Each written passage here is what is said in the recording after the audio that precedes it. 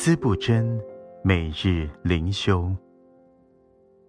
经文：上帝看光是好的，就把光暗分开了。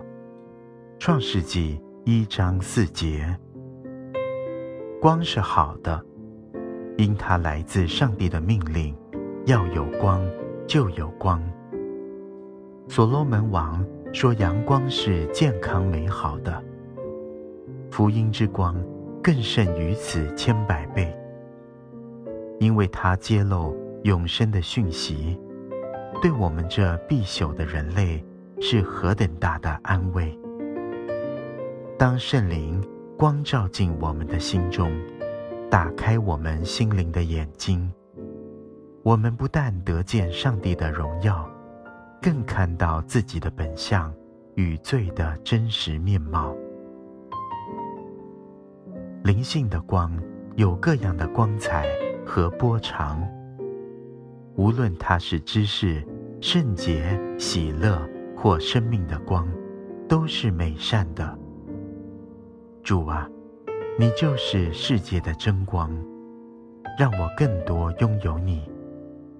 善与恶总是区别，光和暗也是不能相交。上帝已经把他们分开，我们就不要改变他。光明之子不能再在黑暗中行走，或在不义的事上有份。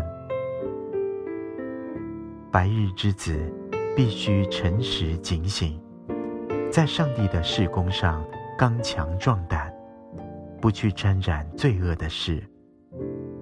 借着操练。教会必须分别为圣，与世俗有别。